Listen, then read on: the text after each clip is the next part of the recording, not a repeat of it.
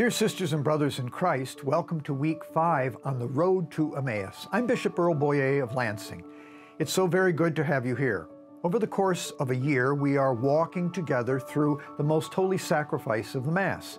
Every week, I issue a communication, just like this one, containing catechesis, inspiration, and a challenge.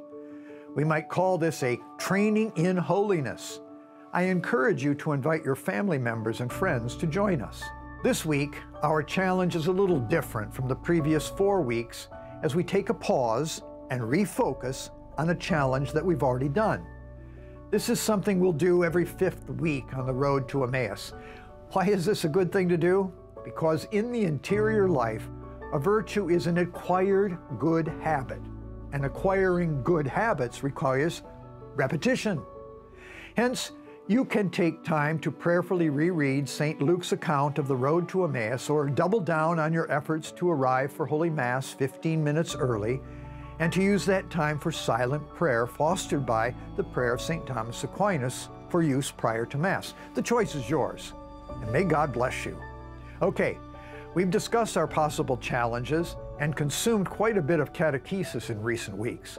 So now it's time for some inspiration did you know that the Diocese of Lansing is blessed by four perpetual adoration chapels? Each is a sacred place where people can spend time with Jesus Christ in the Eucharist. They are usually open 24 7. You can find them in Lansing, Ann Arbor, Jackson, and Burton. Our multimedia journalist, Matt Riedl, got up in the middle of the night in order to find out just who frequents these chapels when most of the rest of us are fast asleep.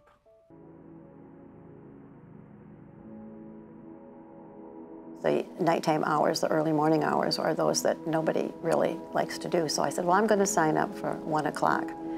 So for 30 years, yes, I've been getting up at, come here to 1 o'clock in the morning. It's become a part of my life, you know, like, and I've, I just, I really, um, I praise God that I'm able to do it. It's so quiet. And I'm, I'm, I'm looking at God who's, who's here in my presence. Just fantastic.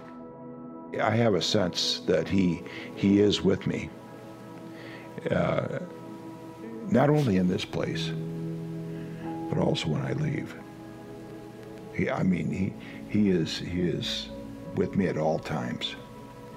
And I am closer to God. I'm understanding him more. And ever since I uh, told the Holy Spirit to be with me, to help me through life. He's been there. He's been there.